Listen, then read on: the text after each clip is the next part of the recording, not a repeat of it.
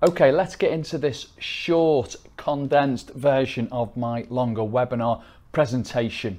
I'm Martin Wilcocks. I'm the Amazon best-selling author of Bulletproof Retirements. I'm a regulated wealth manager and a registered life coach as well. And I want to use all of that experience to help put your retirement on track and give you a bulletproof retirement. So let's get into it.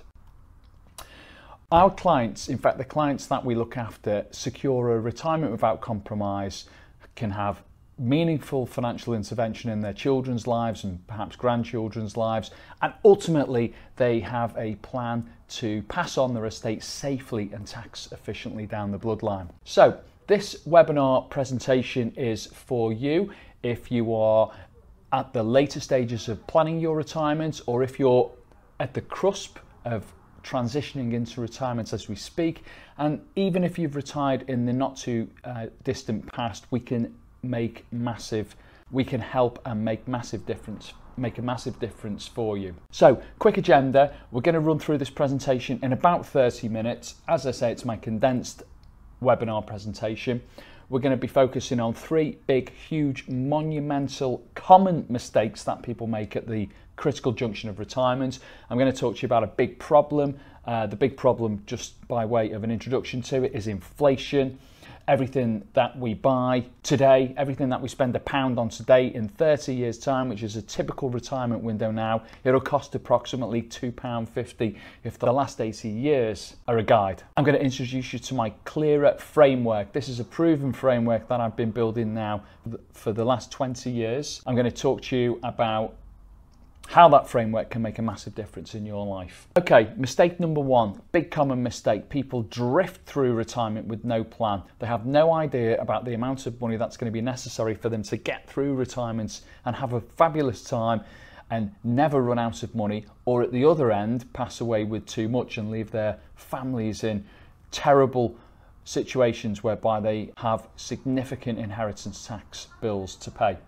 Mistake number two is the bad plan. This is where we've entrusted our pensions and investments and ISAs to expensive, glossy financial networks or active investment managers who, between them, typically take 1% more than they should be taking on an annual basis. And just to give that some context, it might not sound like a big number, but 1% on your £200,000 pensions, £2,000 a year, it's 20,000 over 10 years, it's 60,000 over 30 years, but in actual fact, if you'd left it in the pension to grow, it'd be worth the same £200,000 you start with right now today. So it's massive, that just, just from that 1% alone.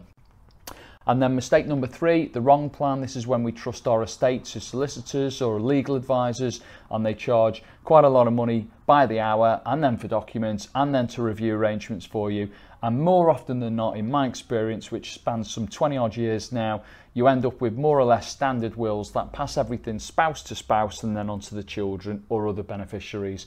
In some cases, I do see some life interest trust inclusion within the wills, but more often than not, it doesn't really give the levels of protection that you're going to need to make sure that you've got protection for your bloodline. The reality with your retirement is there's only going to be one of two outcomes. Either you'll go through retirement and the money will outlive you, which is a great thing because then you'll have capital left to, eh, to put yourself in a position where you're able to pass on your estate to your loved ones, children, grandchildren, or whoever else, or you'll outlive the money, which is not a great place to be because you'll still be here, but the money will have run dry.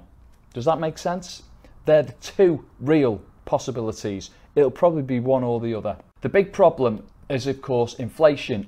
And I always talk about a cost of a first class stamp. Back when I was born in 1972, it was just three pence. About 30 years ago, you can see it was about 24 pence. And of course, it costs over a pound at the time I'm film, filming this webinar today now, this updated webinar, to put a first class letter in the post. So this significant uplift in the cost of the humble first class stamp. And why is it important? Well, we're all living on average about 10 years longer than we were when I was born. Back then, the average life expectancy was about 72 years of age, and it's about 10 years more today. It's about 82. And in fact, getting to, you know, 90, no longer uncommon. and in fact, even reaching three figures is a possibility. It's important because everything costs so much money these days, doesn't it? Am I right? I mean, you'll have personal experience yourself and be able to relate to different things that you have to pay for. I always use the example of my dad. He used to give me five pound the year after Liverpool won the double, and here we can see that double winning team led by Kenny Dalglish. The year after we won the double, um, we signed John Barnes and Peter Beardsley and John Aldridge from Oxford. And yeah, my dad used to give me five pounds. It used to get me the train to James Street. It used to get me the, I think it was the number 26 bus up the hill. And then it was one pound 80 to get into the Kop. And most Saturdays, I would ordinarily have a little bit of extra money left over from a paper round and I'd have enough to get a special fried rice from the Golden Sunrise on the way home. So uh, that was always nice. But you know, all of that pretty much on five pounds. And of course, if I take my kids to Anfield nowadays to watch the game, it costs hundreds and hundreds of pounds. So yes, it's perhaps maybe an exaggerated example, but it's not exclusive just to football. Things cost a fortune nowadays, don't they? Particularly if you have children. So, quick snapshot of my practice. Um, the limited company I trade through, Wilcocks and Associates Limited, was founded in 2009. But the reality is, I started 20 years ago after I left Barclays in 2003, and I joined a network for a few years. And since then, I've been building my private practice. And um, as it stands today, we look we look after 242 families at the time of recording this. And within those families, we have 323 investors and we manage just north of 140 million pounds now in investment funds and other estate capital. Most of our clients are in central England all the way down to southern England, and that's pretty much just because most of our growths come from word of mouth referrals. And yeah, clearly um, we can go further afield and we do have national reach. So we uh, can um, help you wherever you're based in the country. Much of what we do now is remote as well, and we have a specific online service which I'm going to talk to you about shortly. So, you can either do it yourself with some remote online help and support from us. We've got a specific mastermind group which is only available for 50 applicants. That's the do it with you service, or our traditional do it for you service, which is kind of the flagship offering which we've run now for, well, ever since 2003, pretty much when I left the bank, is there for you too. Now, if it's okay with you, I just want to share a little bit of background as to you know me and how it all came about because that's in, I think it's important you understand where the service proposition that you can benefit from, the service that you can uh, plug into, which can help you navigate through your retirement. It's kind of all culminated from a whole raft of different experiences I've been through. I joined Barclays in 1989 in July. I'd applied in March 1988, as you can see on the screen now, but they didn't take me on at first, and I had to keep writing uh, back to a lady called Sue Billington at Personnel Department just around the corner. They were based in Tithebarn Street at the time. But eventually, Sue and her colleague Liz buckled and agreed to give me a job, and I started on the 24th of July 1989 in Little Sutton Branch, and that's the black branch there in black and white we can see. I moved to Victoria Street branch in 93 and then uh, Liverpool University branch and then on to Chester in 95 and you can kind of see this little story of my Barclays background there. But it all kind of changed for me when I um, joined Barclays Life and became a financial advisor in the late 90s and it was uh, when I took on that role I started to really uh, develop my financial planning skills I had additional experience. I used to uh, tag on to the corporate manager, Malcolm, whilst I was uh, in Liverpool. And uh, he used to take me to this place, the whole ye hole in the wall. And I kind of met all the business customers, and it was a bit of an apprenticeship, really. You learned how the bank did its business, and it was brilliant because you were really taken through this journey. And it's on that journey that I really started to learn how to look after customers properly. And my contention is that it's no longer there anymore. The banks are just soulless and everything changed, which I'll touch on in a moment. And of course, Malcolm's wise counsel continued in our time at Barclays Chester. You guessed it, at the Marlborough Arms. And you know, it's important because all of this stuff really um, helped to shape my my offering, as it were. I joined Barclays Premier in the end, and uh, Premier Banking back when I started in '89. Crikey, if you told me I was going to be a Premier manager, I'd have snatched your hand off and signed up for life. But by the time I got there, in, in the early 2000s, it really had, I think, um, lost its edge. And I'm sure people out there watching this presentation will probably be nodding now because it wasn't so much, it wasn't as premier as it was when it first kind of, you know, um, was built for the um, high net worth market um, in the banks. Anyway, uh, I resigned in 2003, and that's a copy of the letter that I sent to my area director. And in that letter, which you can probably scan in on or zoom in on now in this webinar, I won't talk you through it, but I kind of set out my rationale really and my reasons for why I was leaving. And it's all important because it's helped me build my service. It's almost a private office, private banking service for the masses. You don't need hundreds and hundreds of thousands or millions of pounds to plug into my service. This is a full financial planning, retirement, private office service, if you will, which is extended to many now because of the remote nature of it. And I have this seven point framework with uh, clarity sessions, with lifestyle financial planning sessions, with uh, investment evidence-based investment session, an allowance session, a risk management session, and then an estate session, and then on to reviewing your arrangements. And it's a collective process. We run on a 12-month basis, and it's this process which is going to help you get through retirement in one piece with a plan, without high costs from those networks or high-cost active fund managers, or with a wrong plan which you know, see would see you with the wrong type of legal structures, which are very basic and won't protect your bloodline. Just going to break at this point to sketch out how the whole service proposition comes together. This is me introducing my bucket concept. I'll be back with you in just a couple of minutes. Okay, what we're going to do is sketch out exactly what financial planning looks like, the concept I touched on in the webinar presentation. Here's what we do. And by the way, before we start, I should just say that um, about 14 years ago, we uh, brought in an external consultant called Paul Armson, um, who's from the Midlands, and Paul came and spent a whole week with us. Throughout that week, we were able to conceptualize basically all of our planning we uh, actually borrowed the money to cover his consultancy fees too, but they've paid us back a hundred times over since. So let me now sketch out exactly how we plan with people. We will work with you on the basis that you are a financial bucket. It seems a bit strange initially, but stay with me. And in your bucket, you'll have what we call ready realizable assets. And that's your cash, that's your savings, that's the money you can kind of go and get your hands on today if you needed to access it. And that's great. Now, that's not the only thing going on with your bucket because every month or every week, you'll have what we call current inflows. And your current inflows at the moment might be a salary for yourself, might be a salary for your partner, it could be dividend income, and there might be other things as well on top that you receive, and they are going into your bucket on a monthly basis.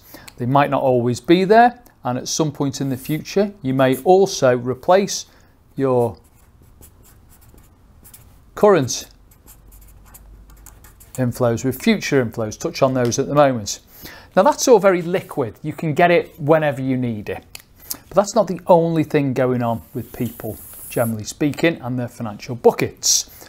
Now, most people also have assets and investments.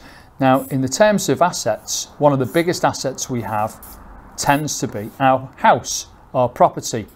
And whilst it's an asset, it can also be a liability. It has a mortgage on it, it has maintenance costs that need to be expended from time to time. And that's great. And it's an asset and it's part of your asset and liability statement, your balance sheet, if you will. But you can't quite access the money in it just quite as easily as you can with this stuff here in your bucket. So it sits outside. In a similar way, many of you will have pensions and your pensions, again, whilst they're an asset, they're not perhaps available to you in the same way that your readily realizable assets and cash is here. Okay, now for many of you, there will also be a business, which I always draw as a factory for some reason, it's a habit. And the business there also has a value in it, but you can't quite maybe perhaps always access the value in your business from a capital point of view. There may, of course, be uh, dividends coming in from the business into your bucket on a monthly basis, and if so, great. And they're the kind of dynamics. You've got this capital that sits inside your bucket, and you've got assets that sit outside your bucket. And of course, in the future, you know, you might turn a tap on in this pension, and you might drip some income into your bucket, and you may also take, by way of an example, 25%, one quarter of that pension, and that can also come into your bucket too as a future inflow. And that's what we were talking about here with future inflows. You may also downsize at some point, move house, downsize, and if you did that, some of that capital from your property might also find its way into your bucket too. And you might sell your business, or you might just take increased dividends, or you might do some form of earnout, and one way or another, you'll pass some more direct capital directly into more readily realizable money down here. On that basis, you would think, well, looks pretty good. Our bucket is just going to fill up, but buckets don't just fill up, do they? Because over here, we have a tap. And rather than putting money into the bucket, as these do here, this tap is taken out of the bucket. And this is, for example, you know, the cost of our lifestyle today. This is our lifestyle tap. This is our bills. This is our food and drink. This is our holidays. This is the kids, the grandkids. It's all of today's expenses. It's everything that we do today, entertainment, and it's the cost of our lifestyle today. Now, there'll come a point in the future when this tap really takes shape and starts to develop arms and legs and grow at an even faster rate than it is at the moment. And it's the tap you'll turn on where you decide to slow down and start to do all the things that you want to do with your life when you retire. This is your retirement tap, lifestyle tap two. And it's kind of this one, but in a bit of overdrive. And yes, the may, maybe the mortgage may have been paid off by this stage and maybe the kids um, aren't as financially dependent anymore. Uh, subjective always, of course, and many people will tell you that the kids become more expensive as they get older. Um, but whatever the case, this is the tap you'll turn on at retirement, the, the second phase of life tap, as it were. And, you know, in my experience, it can be this tap multiplied by two. And why shouldn't it be? This is the tap you turn on when, you know, you go to Europe more, you holiday more, you travel more, and so on and so forth. But there'll come a stage, there'll come a time where you turn that second tap off too. And when you do turn this tap off, you're likely to turn on this third and final tap of your life, which is a little bit smaller because this is the tap you turn on when you can't go trekking around Europe and holidaying three and four times a year and doing all of those great things and jumping out of planes and so on and so forth. And then ultimately, we're all heading for our afterlife. I can tell you that there's only one of two things that will happen to you and your financial bucket. You will either go through your life here and here and here, and what's coming into the bucket might not be sufficient to drive those lifestyle taps. So, in other words, the bucket might run down, it might just run out. And if it was to run down, that would be bad because it would mean that you'd have to turn these taps down and possibly in, uh, in the worst case scenario, even off altogether and just have a very, very basic existence. But there's another thing that can happen. You might do very well and the bucket might fill up. And if the bucket does fill up, it could overflow. And if the bucket overflows and you go to your grave here with too much money in your bucket, what that would mean is there's a high chance that Mr. Inland Revenue would be receiving 40% of your entire estate over your nil rate bands, either 650,000 or a million if you get the residential elements. And that would be bad because after working hard all of your life and paying tax on all of your salaries, paying tax on all of your dividends, paying tax on your business profits, and indeed everything else you've ever done with tax and tax on fuel and kind of everything we do is taxed, isn't it? To pay 40% away to the government would be bad. But there's something much worse. And it's this. If you go to your grave with too much money in your bucket, with an overflowing bucket, what it would really mean is that you probably didn't do all of the nice and really great things that you could have done here while you had the chance. And now it's too late, you've gone to your grave with too much money in your bucket and literally no time to spend it. And the job of a proper financial planner is to do one thing really, and it's to help his or her clients make sense of what's going on with their financial bucket. It's to get a grip of all this stuff. And that's what we do. If you've enrolled on the course, we have a very useful tool to help you put all this together. We can do it on our mastermind sessions as well, but the course itself gives you this fabulous PDF handout which incorporates these taps. It helps you get to grips with what these taps look like. You're going to record today's lifestyle, you're going to record your stage two retirement lifestyle, and you're going to record the lifestyle tap that comes into action when you start to slow down too. And it's by working out those taps you'll find your number. And it's that number that we will look to achieve and maintain such that you can run your retirement in whatever way you want and not compromise on any of the really nice things that you plan to do. And that's the job in this lifestyle financial planning part of the program. Okay, I hope you enjoyed that quick uh, session. Uh, clearly, that is um, a lot more emotive, if that's the right word to use, when it's specific to your own situation and circumstances. Clearly, I can't do that now on this one to many presentation, but be assured when it's your stuff going into that bucket and we're talking about your life taps and what's important to you and the kids and the family and what you hope to achieve for yourselves through retirement and indeed for them, it does become more real. As I alluded to earlier, we can either give you a program where you can go off and do all this yourself, that's one option.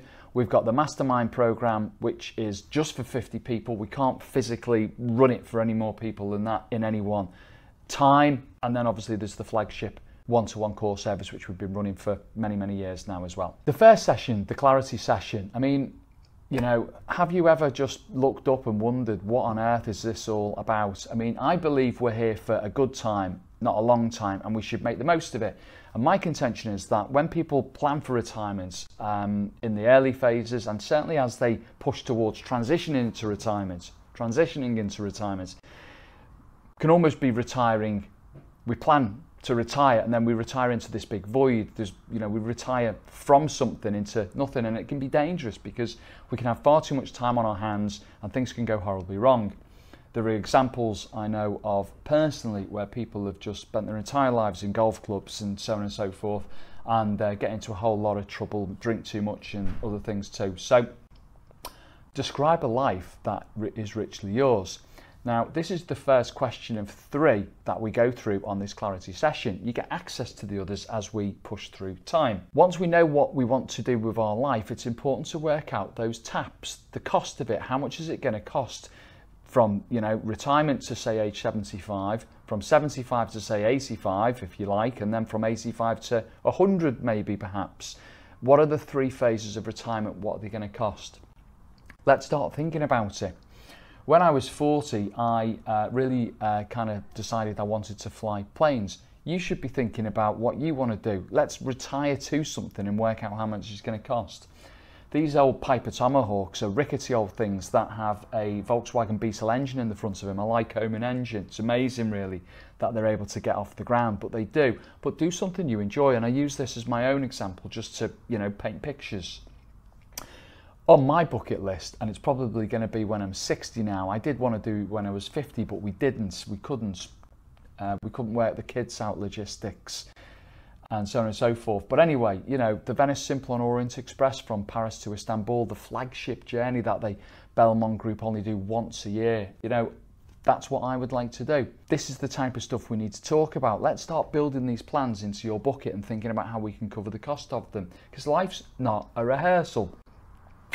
We need a good engine to help our plan work, and in my mind, that's a low cost, evidence based investment. And we do our investing through a firm called Dimensional, who was set up in the 1980s, and their foundations are built on Nobel Prize winning research and data from leading academics like Eugene Fama and Ken French and Robert Merton and other people like them too.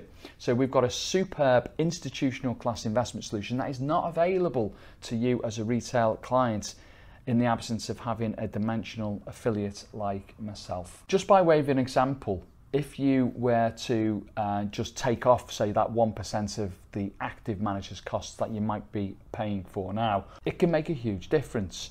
If you look at global equity markets, and not, not all of you watching this will be exposed just to global equity markets, but if you look back in any decade in the last 10 with our data from Dimensional, you'll see that global markets have returned approximately 10% as an annualized compounded return.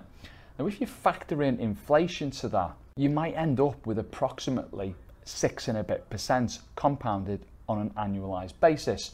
Now, on a £200,000 pension pot over a 10 year period, so we're not even going into 20 and 30 years now, which is you know more more realistic for a, a typical retirement window now. Your 200,000 would grow to about 370 £2,000. Now, clearly, that's not going to happen if you're paying away too much in fees.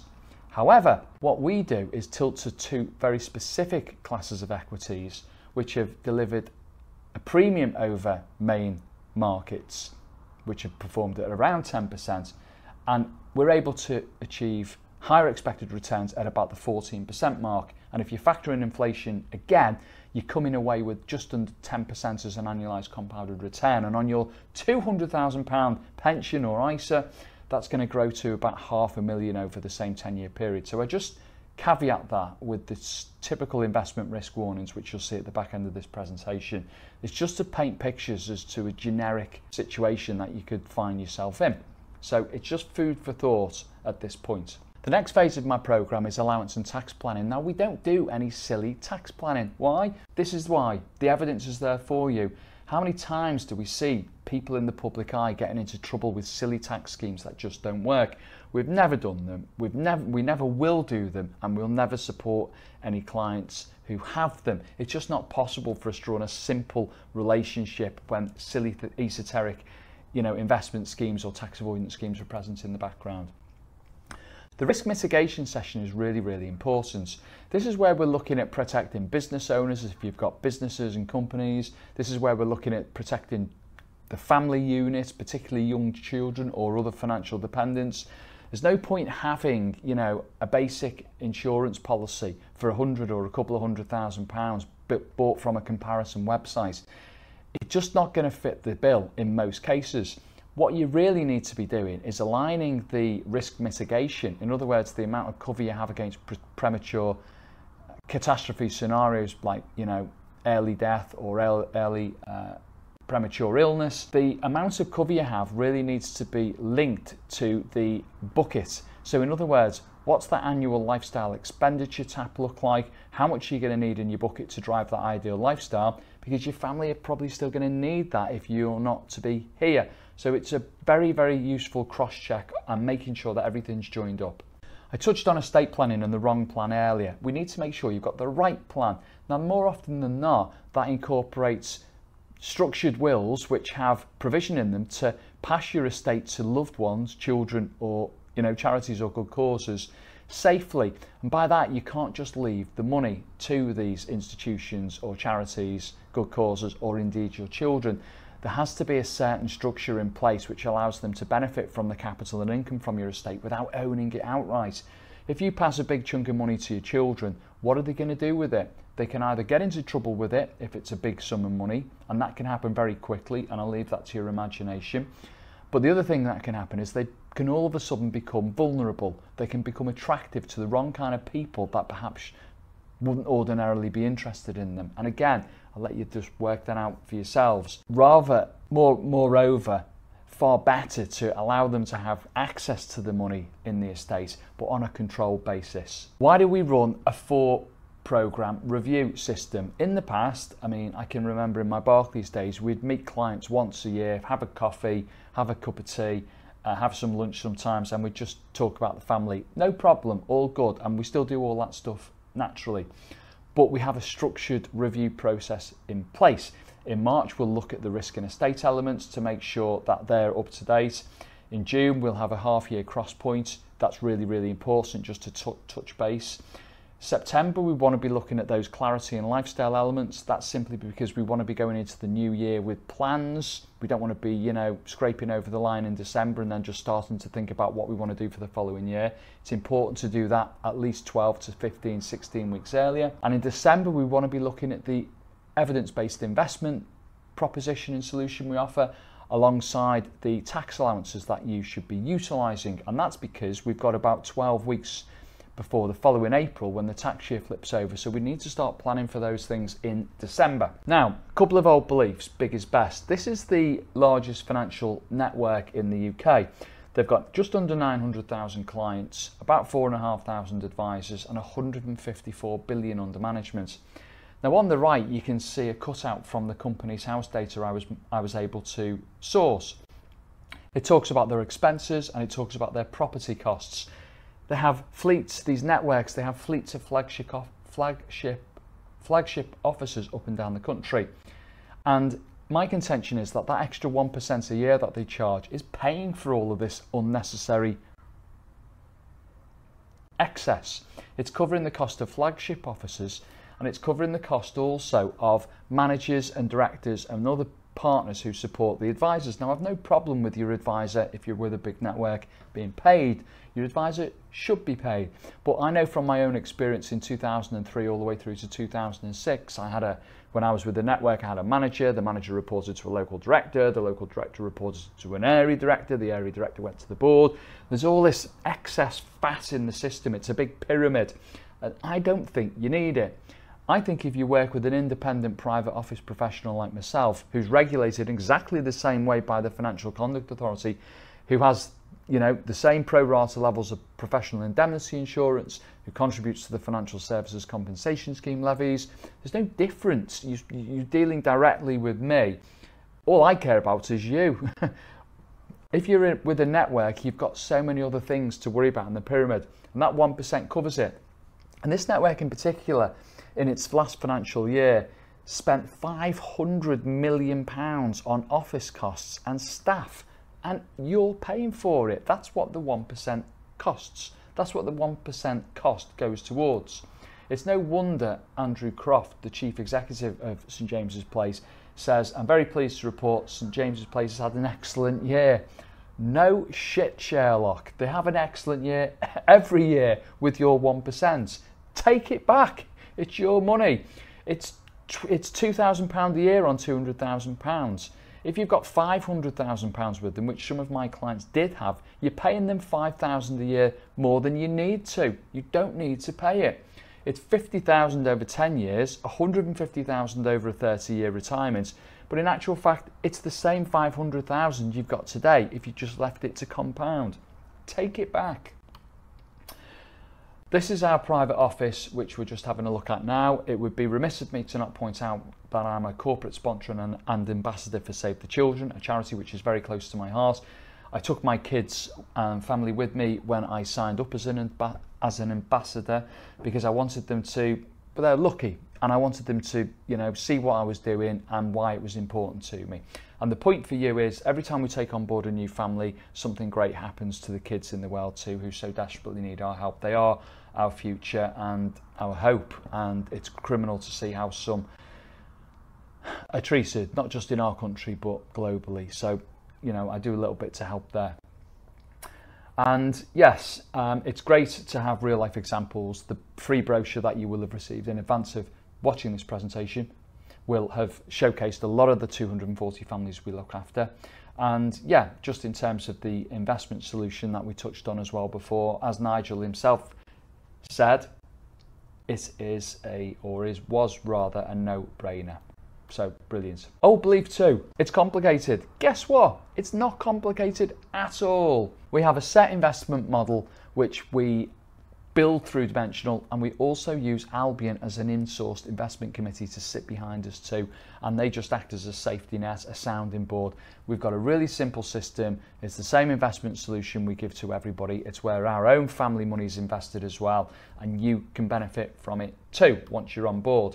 Oh, believe three, the professionals know best. I don't think they do. This is an email between myself and Michael, a, a good trusted friend and colleague of ours who's a who's a serious player in the estate planning market.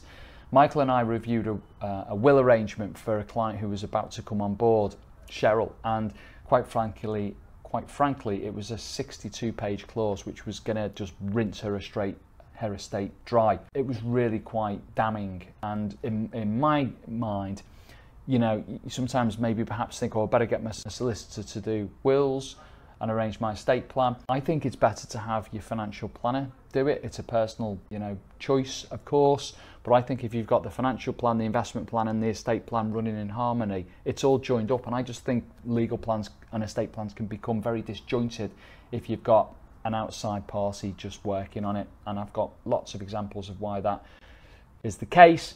Um, another one from Andy, you know, he went to a big firm of lawyers. He ended up with a business trust in a stand, more or less standard will with a life interest. In the process of exploring a sale for the company, the business trust he was given wasn't going to be really of any use to him. So we've done quite a significant job uh, for Andy in terms of a series of structures which really form our entrepreneur and executive estate and succession plan, which most of the time the documents are fairly standard. Uh, it's what we do with them over time which counts as the family de- situation develops. So, what's next? Well, you've already had your clearer cheat sheet and you've got the life plan questionnaire. We touched on the first question earlier, and you've also got access to my bucket presentation and indeed the tap recorder too, so you can start to work those tap costs out, which is crucial for retirement. If you think you're good to go and you want to have a go yourself, that's absolutely fine. Do get a copy of my uh, Amazon best-selling book. It was a uh, number one bestseller in personal uh, risk management, personal retirement planning, and uh, personal finance. So, you know, um, lots of helpful tips and uh, guidance in there. And frankly, if you followed most of what I talk about in the book, you wouldn't have a terrible financial plan at all. I think you'd have a fairly good one. I think it is important, frankly, if you get a bit of help, it can make a big difference. I'm a big believer in that which is why we have the Do It With You program and the standard Do It For You program too. If you just want to take all of my uh, knowledge, which has been built up over the last 20 odd years, in fact, the last 33 years, because even my time at Barclays was building the foundations for what I believe, what I know, and how I help people plan. I'm happy to offload that information to you for a fixed price of £1,000. I think it's incredible value. You've got a series of guides, you've got a course workbook, you've got my seven point investment plan, my seven point estate plan, you've got the whole range of uh, document uh, access as well. And you've also got my online financial planning software tool, which brings that bucket to life. So that in itself is a fabulous, fabulous service. I also include with that our portfolio analysis. So if you want us to review your arrangements and give you that uh, initial evidence-based investment x-ray on your current pensions and ISAs, happy to do that within that um, fee too. We offer a mastermind, as I mentioned a few times now, for 50 applicants. Uh, you have to apply for this as well. We'll do it all with you over seven sessions. So each one of those um, clearer, the framework I use, which I've adopted over the last um, few years. Uh, we'll run through those sessions with you. We'll do live sessions. You'll have Mary's support as well. There's Mary on the right. And, you know, example of 50 clients who've joined the program in the past are there. And it's kind of the same information and same framework. There's no change. You've just got that hand-holding experience as well to make sure, I think, importantly, that you implement it. So, or it's all very well and good having the information and ideas and concepts but it's the implementation of them which is key implement implement implement you must take action if you want to come on board as a traditional flagship client you can do I'm about halfway now to reaching my cap at 500 families. There's no, you know, restriction on me from a regulatory point of view. I just run a lifestyle business and running 500 relationships is the absolute max for the structure that I've built into my business. So yeah, clearly there's space for you to join. Um, but who knows, uh, if these webinars do well, we might accelerate that a lot quicker uh, than what we've done over the last um, you know 10 and 15 years. Uh, bringing people on. And of course, the starter service costs £6,000. That buys me, that buys everything else we've discussed, and you've got me working with you on a one on one basis, which is relationship driven. And it also involves some face to face elements too. That can be uh, one of our offices in Teddington, uh, just outside Richmond, it can be here in Liverpool, or indeed it can be in central London as well. I've also got access to Soho Works, a number of suites throughout the uh, country where we can meet and converse and do our business. So, there's a link under this uh, webinar um, for you to go and make your applications. You can choose the you can choose the online program, you can choose them to apply for the mastermind program, or you can apply for one-on-one help and support too. So have a listen to the videos from Andy, from Mary and from Terry. I've included those on this webinar presentation. You have access to those. They're just very frank accounts from real people who had real problems that needed my real solutions, as it were. And you know, take some heart in the um, you know comments they've made because I think they're really poignant. If you wanted to spread the cost of our programs, you can. There's an additional surcharge of £97 a month. The payments are split into three. They're on the screen there. You can see exactly what they're going to pay, so you don't need to cover the cost all in one go. I'm that confident you'll love what we do. I'm that confident you'll tune into Mary's support on the mastermind. And I'm super confident that if you engage me directly, you won't be dissatisfied or disappointed.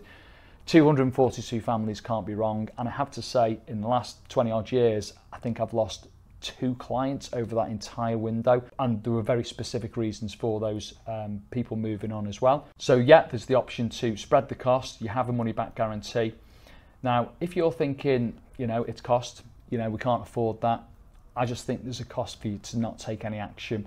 Not having a plan could just see you run out of money in retirement. It could see you die with too much if you're at the other end of the scale. And as you saw from the buckets if you die with too much you can leave your estate paying 40%, so after paying tax on everything you've ever worked for and bought and earned, tax, tax, tax, tax, tax all the way, you pass away after working all your life and then leaving your children with a 40% bill over the nil rate bands, which aren't very much, as you will appreciate. So if it's cost, I think it's an investment that will pay you back many, many more times over than what its actual real cost is. If you're thinking how long is this going to take, I've seen courses online for retirement planning, which you have to literally invest half your life into hour-long meetings, uh, strategy session, strategy sessions, so many different kind of elements. Each one of those seven sessions lasts for no longer than 20 minutes, and that's because I believe you can get all of the main detail done in that limited time. All of the action takes place in the big detail, not the fluff and the faff, if you're with me. So I keep it super simple. If you like working on that basis, you probably work really well with me.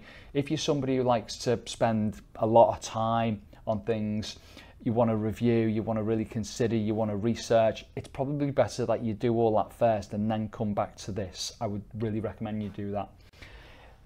Likewise, if you've got an advisor already, great, fine. If you want to run by your current advisor the type of teachings that I've you know shared with you now. I'd encourage you to do that. I would really encourage you to uh, look for an advisor who's working in all three disciplines. The financial planning elements, you want them to be running that type of bucket concept with you. You want them to be running an evidence-based investment solution, which is at, which is low cost. Stay away from active management. It doesn't work in at least 90% of cases. 25,000 papers have been written on it now or thereabouts.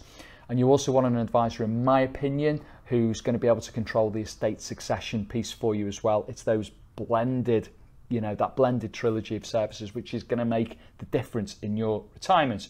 So go to the application page, page even, the link for which is underneath, and I look forward to hearing from you on which way you want to go. Make some progress today there's always a cost. You have to pay, you have to invest into yourself. And if you want to get through retirement, this package is brilliant for you, regardless of whether it's the online information only service, the mastermind, or the one to one. I look forward to seeing you in due course. Bye for now.